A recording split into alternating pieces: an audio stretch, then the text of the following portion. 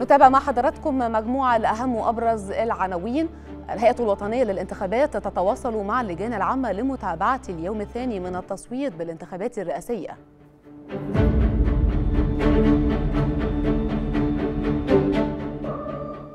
رئيس حملة السيسي يقول إن إقبال غير مسبوق بالانتخابات ونراهن على وعي الشعب.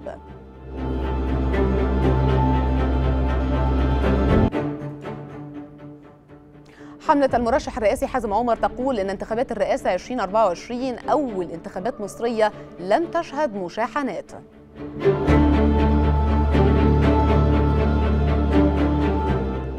طوابير حاشدة للناخبين أمام لجان التصويت للمشاركة في اليوم الثاني بالانتخابات الرئاسية.